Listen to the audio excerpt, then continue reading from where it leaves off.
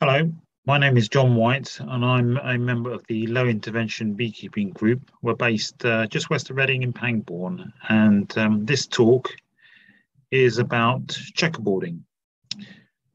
I think the whole uh, craft of beekeeping is absolutely amazing, but for many of us, um, the whole issue of swarming and all that it entails is, to say the least, challenging the knock on the door from neighbours, the number of swarm inspections, the impact that uh, all those inspections have on the colony, um, the mitigation measures that we need to take to um, to offset swarming. The list is long, and so three years ago, we began experimenting with a little-known method of swarm prevention called checkerboarding to prevent swarming, and we believe that based on our findings, this really does work.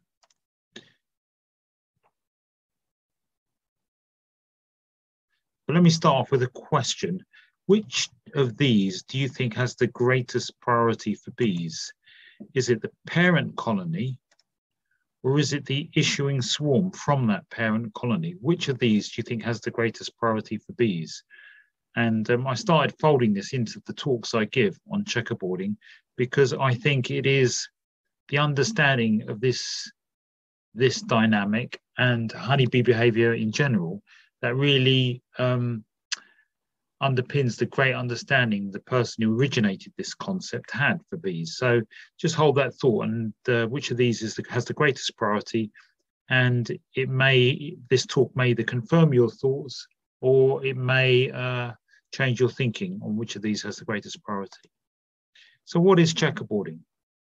Checkerboarding involves taking a box of stores above the brood nest and merging it with a box of drawn empty comb so that the two boxes alternate with frames of honey, drawn comb, honey, drawn comb, hence the name checkerboarding. It's something you need to do only once. So we do it once and then thereafter the job's done. You don't need to repeat this exercise. And what it does is over time, the bees, this fracturing of the stores, the bees become aware of the spaces above the brood nest and the where their roof is, the changing aspect of where their roof is. And their natural impulse is to recreate this honey reserve. In other words, to infill it. And if I was to stop there, that is essentially the essence of checkerboarding. It's the manipulation of the stores above the brood. It doesn't require going into the brood. And if you do that successfully with a couple of other aspects, that will offset swarming. Like a lot of things, it sounds almost too good to be true. But in this case, uh, I believe, we believe that it really does work. So there are three key elements to checkerboarding. The stores, this manipulation of the stores above the brood. When you do it, timing, and thereafter making sure and allowing lots of space. So where did this idea originate from? It came from a chap called Walter Wright, who passed away in 2016. Walter Wright was a NASA engineer, troubleshooting engineer, and he took up beekeeping after he'd retired to supplement his own uh, his income, the income from his pension. And one of the amazing things about Walter Wright was he didn't want, uh, he knew nothing about beekeeping when he took it up. He didn't want a mentor. He didn't want a uh, to join a book uh, a beekeeping society, and he didn't want to read any books. He wanted to literally uh, treat beekeeping as a troubleshooting exercise and base everything on his own observations. And I think this is a unique aspect about Walter Wright and something I've not heard of or seen elsewhere. And so he began asking beekeepers, once he'd got his feet under the table and had a good idea what checkerboarding was about, he began asking beekeepers, what's the thing that bothers them most? And invariably swarming came up. And he said, fine, give me three years and I'll crack it. And he thinks he managed to do it in a couple of years. But initially, he had to build credibility by publishing articles. So he wrote prolifically in the American Beesource Journal. And all of his writings, all of his original writings and um, essays are freely available on, um, on Beesource. So it's free there for anyone to go and have a look. And after three years of, uh, after a couple of years of looking into this aspect of how, how to prevent swarming, Walter Wright was of the opinion that he, he was surprised at how it had taken so many tens of thousands of beekeepers looking in probably millions of beehives over many years that they hadn't come to this understanding and written it down. And this quote, I think, sums up Walter Wright and um, his fairly self confident attitude to life. The fact that you'll find none of this information in your favorite reference books doesn't make it any less true. And he went on to say, it's, of course, it's easier to reject these concepts because they're new to you. So it's fair to say he didn't have a massive amount of traction throughout his life. Um, and since then, since he's passed away in 2016, myself and others have picked this idea up and thought, you know, there really is something in this. So how does checkerboarding work? What it does is it what the bees, what they see as their ceiling and available stores changes by the act of checkerboarding. They want and need a solid block of stores before swarming, and they will increase their brood nest until they think they've reached a maximum colony size. So when we have these fractured stores, this encourages the bees to expand rapidly.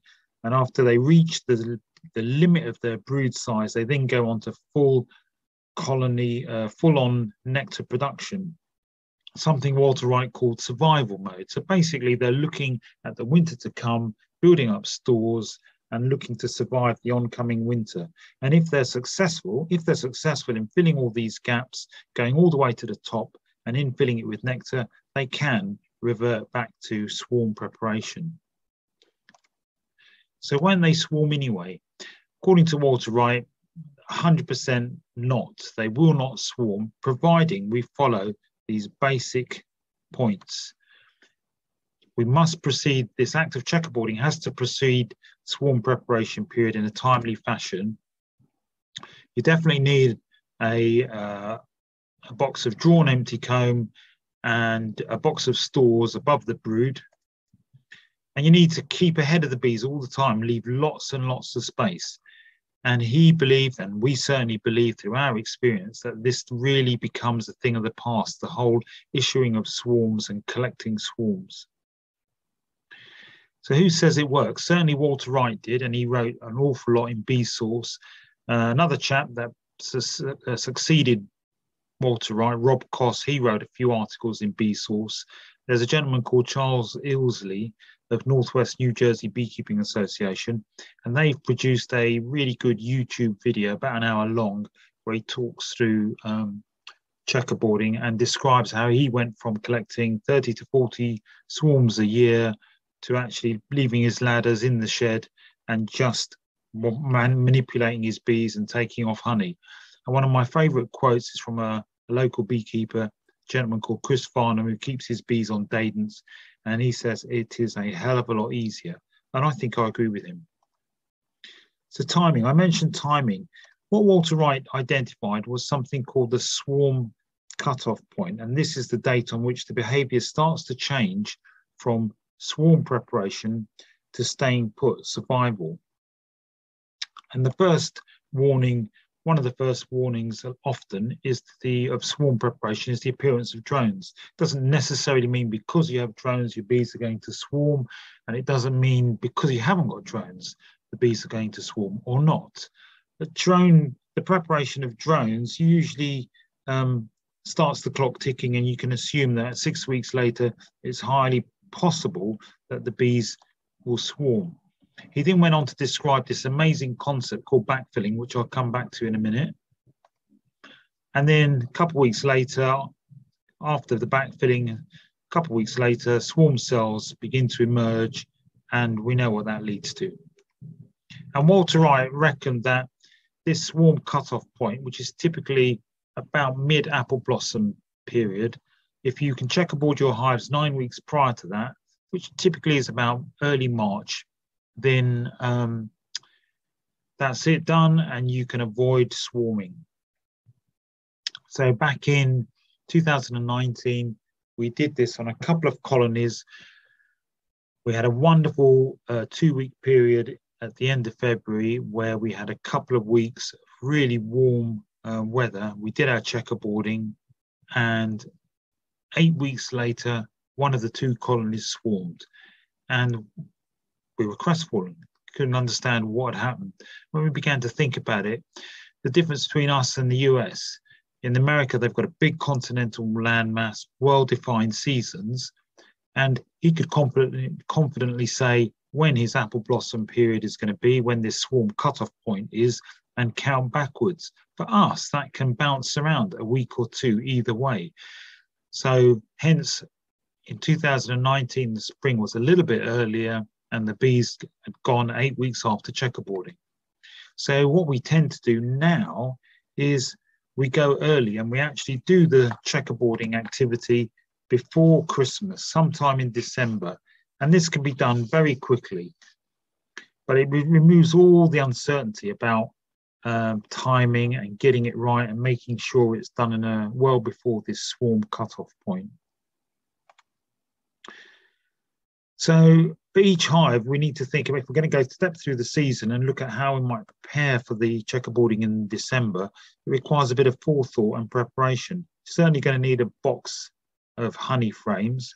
And you're also going to need another box of drawn empty frames so that you can alternate the frames and carry out the checkerboarding. In December, remember you're not going into the brood, we're only manipulating the stores above the colony. And this can be done very quickly, this act of checkerboarding. You can take your box of stores off the colony, alternate with frames of drawn empty comb, and then put the two boxes back on so that we're not venting heat from the colony. And as I said before, timing, it needs to be done early, hence we do it in December. Here's some graphics from the book we wrote on checkerboarding, and it just shows the alternating frames, drawn comb stores, drawn comb stores, both laterally and vertically. Here I've got some examples. So there's the basic model. We've got a brood nest with a box of honey above it and on the right, after checkerboarding, we've alternated those frames, those frames of stores with drawn empty combs. So we get this alternating frames vertically and laterally, the checkerboarding effect. In this example, you could do this with and feed fondant at the same time. So here, if you're concerned about your winter stores, um, you could add some fondant immediately above the brood using a feeder eke or a super, but just make sure that your crown board stays at the top. So you're not putting your fondant immediately on the crown board. You need, the bees need to have access to those frames, those boxes that have got your checkerboarded stores. So please, if you're if you're thinking of checkerboarding and you want to add fondant, remember to leave your crown board at the top. And several of my colonists have got this um, this kind of configuration right now as we speak. Here's an example of checkerboarding, this time using a second brood box. So a number of my friends do this, not using two boxes, but use a single large British standard. Now, I'm not completely convinced about this because it hasn't stood the test of time. I'd like to see this happen for another year or two. A number of people I know who do it with a single box, and so far they haven't swarmed, although the sample's pretty small, a handful of people a lot of people ask me this question aren't we creating a lot of space? Aren't the bees going to be cold? Well personally i don't think so. I've thrown some examples here which i've um, obtained from uh, beehives in western washington and northwest new jersey. These are not checkerboarded colonies but just to show that not everybody everywhere insulates their hive and they have much much colder weather than we do. So it's certainly going to come at a cost if you've got more space. They're bound to use a, a, a bit more of their stores. Um, so it's a consideration. If you are concerned, then do some insulation, carry out some insulation, some basic bubble wrap or something more comprehensive. But I don't think that, given our temperatures, this is going to be a make or break for the colony survival. When we get to spring and the build up, we can expect this to be really rapid. They will expand rapidly. So please be mindful. Don't put a queen excluder on until your colony has fully expanded. You can do a tilt test, crack the boxes just to look in and see are there is there brood there in those boxes or is the, are they actually starting to build it, bring in nectar? And what we'll find is these colonies will expand rapidly, we'll have brood, we'll have a layer of cells that they're emptying out and drying out, whether they've got nectar or honey, uh, capped honey in them, in order for them to keep expanding, and then the bees and the nectar above. So if you do see these cells, these drying cells, this periphery of the brood nest begin to infill, you know that they're starting to think about swarm preparation. And that's a bit of a hint about what's to come with this concept of um, backfilling. Don't ignore the drones. Back in May 2019, um, we weren't using a queen excluder for this configuration, and we could see here that the bees took the queen up across a couple of supers, um, found some empty cells, laid some drone, and then took her back down. So we tend to now um, make some provision for the drones by adding couple of frames in each box of drone cell, um, just so that they to try and offset this and compact the nest down a bit, and and also keep her out of the the supers that you really want to keep for honey. So summer nectar management is the expression that Walter Wright began to to use. So he moved away from this concept of checkerboarding because once the checkerboarding's done, effectively all you're doing is managing the space. You're managing the space above the bees and managing the nectar, the incoming nectar and honey.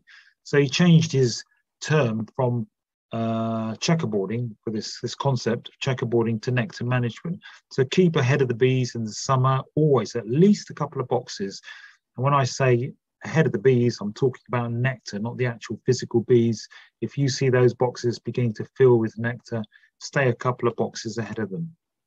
Initially, when we did this, we had these skyscrapers, these towers. We don't do that anymore. We tend to actually keep these towers, these hives down to a manageable size by either taking off the boxes of honey as they fill, are filled and capped, and or storing them, taking them off, emptying them of bees and storing them on a non-checkerboarded hive so, we, so that you can do a one-time extraction. What are the benefits of checkerboarding? And we've experienced all of these definitely. Fewer inspections. A nice byproduct is you get a one for one change, swap over of the queen, supersedure. Definitely haven't had any swarming or swarm preparation and more honey. What a nice problem that would be to have. And some of the drawbacks, definitely need to think about your hive stands to support taller hives. You need a good solid base, then definitely needs to be flat. You might need help handling these taller hives. You might need more equipment if you're going to be, if we get a good year, I mean, no guarantee we ever get a good year, but uh, if you get a good year, you might need some more supers. And, then, yeah, and what a nice problem that would be to have more outlets required to, to sell our honey. So if none of the aforementioned is for you, then this concept of backfilling is something we can all incorporate within our beekeeping. Um, and what backfilling is, it's the replacement of the brood in the top of the brood nest with uncapped nectar uh, and honey in order to reduce the nest.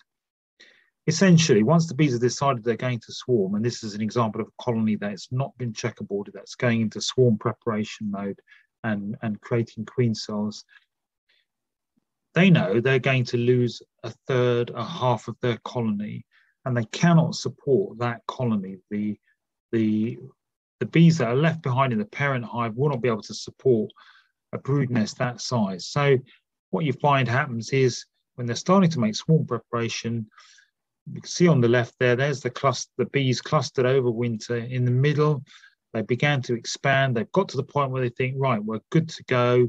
We're going to now um, begin thinking about swarm preparation before they actually begin making swarm cells, swarm cells, they will reduce the nest down by infilling it, backfilling it with, um, with nectar in order to reduce down the, the size of the nest. This does a number of things. It provides a resi- uh, uh, some additional stores for the residual colony, for the parent colony, and it reduces down the capacity of the brood nest for the new queen when she's up and running. So they haven't got that huge volume of a brood to have to support with a reduced workforce. And it's a really, really good indication of swarm preparation because it occurs a couple of weeks before queen cell construction. And this is a picture picture that we took when we were um, going through our colonies initially to make sure that this really was running true to form, true to what Walter Wright described.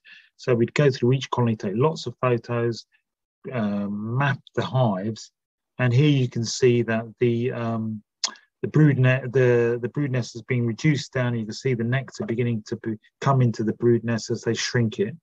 And we took this photograph a couple of weeks before this colony went into swarm preparation without actually realizing that this was happening at the time. so only when we backtracked, looked at our records, looked at our photos that we thought, oh, there's an example of this concept. Here's an example of this concept of backfilling. And there's so much that goes on inside a colony. I never noticed this in my 11 years of beekeeping until I read about it and started looking for it through the work of Walter Wright. This is a book on checkerboarding, which is available from all the usual suspects, Thornes, Northern Bee Books, and Amazon.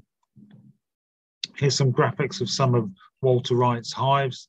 We don't go for anything this big now. We've kind of learned, to, learned as we went along. And couple of graphics here just to show my colleagues Anita on the left, Jill in the middle, and my colonies on the right. Um, and these are, this was our first year of checkerboarding before we realized actually we can modify this and reduce these down a bit. And these are my hives at the beginning of last year, although we had a dreadful year, the three colonies at the back, the blue, the black and the yellow roofed hives are all checkerboarded. I didn't get any honey last year or very little. And, um, but still, you know, as part of the winter, coming out of the winter with those stores, they really went for it, expanded quickly. Um, and so everything was in place had we actually had a bit more of a productive season. And finally, this question again, which of these has the greatest priority for bees, the parent colony or the issuing swarm? What do you think? The answers, of course, are all in our book. So that's the end of this talk on checkerboarding. Good luck to you and your bees.